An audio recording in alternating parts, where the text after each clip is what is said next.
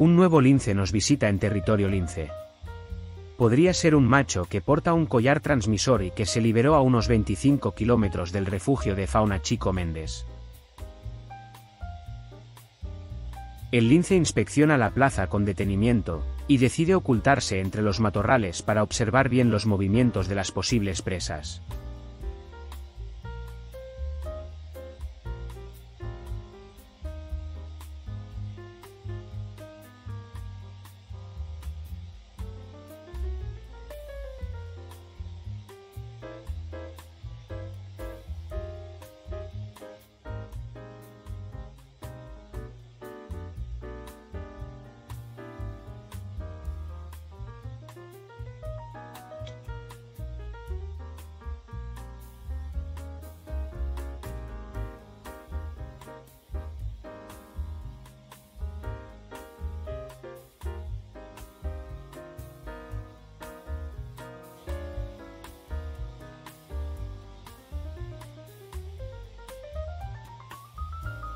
Después de unos minutos de espera infructuosa, decide cambiar de posición de acecho.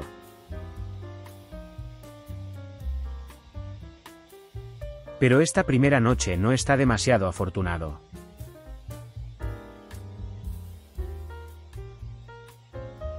Hace dos décadas la población del lince ibérico estuvo al borde de la extinción en la península ibérica, cuando contaba con tan solo 94 ejemplares. Sin embargo, su población ha conseguido multiplicarse y ahora asciende a 1.111 ejemplares en 2020, en toda la península ibérica, la cifra más alta registrada desde que existen programas de seguimiento de la especie, y un 30% más respecto al año 2019, cuando se censaron 855 ejemplares en todo el territorio.